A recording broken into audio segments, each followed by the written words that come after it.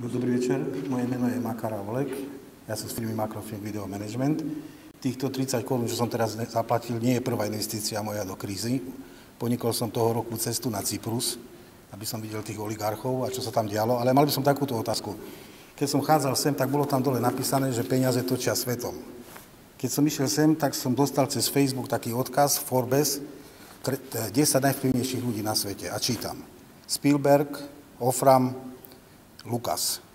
Kto je vlastne najvplyvnejší na svete? Robia si žarty z nás títo, ktorí robia tieto, tieto e, rebríčky, alebo čo? V akom zmysle majú na mysli? Tie firmy, e, tie firmy filmové točia také obrovské peniaze, alebo majú taký vplyv psychologicky? Potom zrejme platí to, že títo ľudia majú preto taký vplyv, že dokážu ovládať ekonomiku, a potom si zase povedzme, že vlastne tá ekonomika je viac menej psychologická veda, nie exaktná veda. Lebo teraz ešte raz, bez úražky, prosím vás, neurazte sa. Zatiaľ ste ma stále nepresvedčili o tom, že ekonomika je veda viac úspešná ako predpoveď počasia.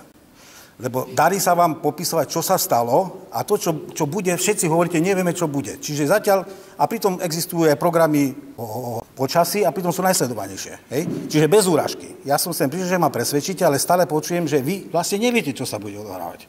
Hej? Čiže ešte raz sa pýtam, tieto, tieto rebríčky Forbesové točia svetom peniaze, alebo títo filmári? A potom som sa chcel spýtať, či ste videli vy hru Enron, ktorá bola tu na Prahe, váš názor na ňu, či sa vám páči alebo nie, alebo či, a či by ste vy boli ochotní prispieť, keďže hovorí Forbes, že film má takýto obrovský dopad, ako odborný poradca jednému projektu, ktorý by som potom vám poslal, tým, hlavne ešte aj tým, že ste česká koruna, ste mimo trošku toho systému. Čiže nie ste ani v tom doláre, ani v, tej, v tom euro. Ďakujem pekne.